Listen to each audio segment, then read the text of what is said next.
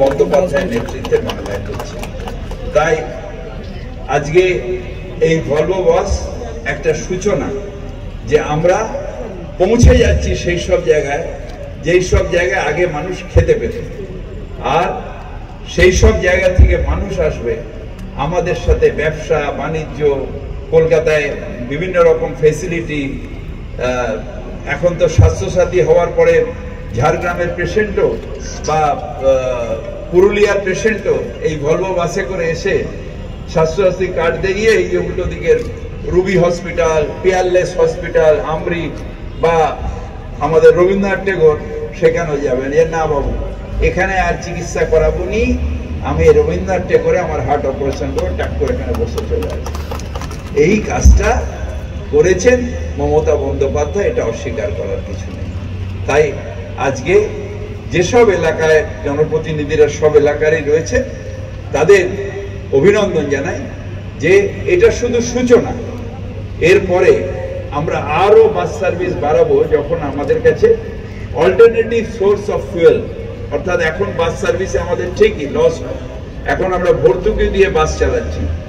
এই গোদালা সাহেব রয়েছেন, আমাদের কাপুর সাহেব আছেন, ওরা জানে যে আমরা ভর্তুকি দিয়ে বাস চালাচ্ছি। কিন্তু একটা সময় আসছে, খুব শিগগিরই। আমরা অলরেডি কিছু বাস সিএনজিতে শুরু করে দিয়েছি। অ্যাভেবিলিটি অফ সিএনজি এটা আমাদের ট্রান্সপোর্ট ডিপার্টমেন্ট অ্যাসিওর করবে এবং কিছু শহরে শর্ট ডিস্টেন্সে ব্যাটারি অপারেটেড কার অর্থাৎ ইলেকট্রিক ভেহিকেল চালিয়ে আমরা তখন অল্টারনেটিভ সোর্স অফ ফুয়েলে যখন আমরা চলে যাব, তখন আমরা প্রচুর বাস দেব। অর্থাৎ একদিক দিয়ে কলকাতায় থেকে সার্ভান্স পর্যন্ত মেট্রো লাইন যাবে। তাদের ফিডিং করবে ইলেকট্রিক ইলেকট্রিক অটো মানে অটো সার্ভিস ইলেকট্রিক অটো আর এই লং ডিস্টেন্স বা মিডিয়াম ডিস্টেন্সে সব বাসগুলো দৌড়বে যাদের সিএনজি নিয়ে গিয়ে প্যাসেঞ্জারদের নিয়ে বিহার, এখান দিয়ে ছাড়া আর নিয়ে আসা এই কাজটা করব। ট্রান্সপোর্ট ডিপার্টমেন্ট আমরা একটা টোয়েন্টি টোয়েন্টির একটা পরিকল্পনা করে টোয়েন্টি থার্টির পর্যন্ত একটা পরিকল্পনা করেছি ট্রান্সপোর্ট ভিশন একটা তৈরি করেছি।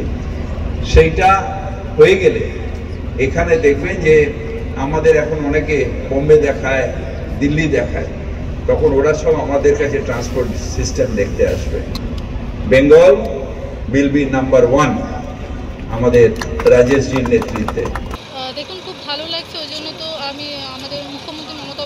বন্দ্যোপাধ্যায়কে ধন্যবাদ জানাব এবং আমাদের বিরাট স্যারকেও ধন্যবাদ জানাব।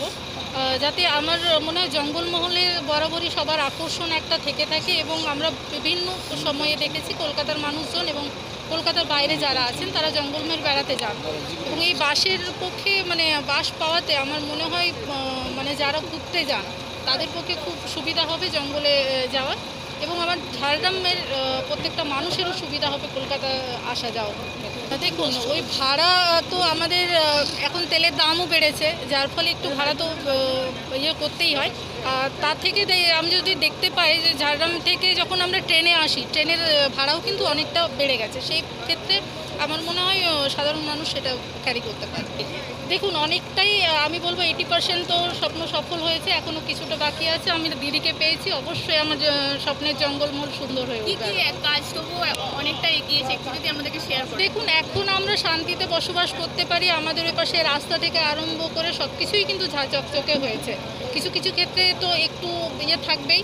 আমাদের দিদি এগারো মানে এগারোর পরে আসার পর থেকে অনেকটাই উন্নত হয়েছে আগামী দিনে আরও উন্নত হবে বলে মনে হয়। আমার। ধন্যবাদ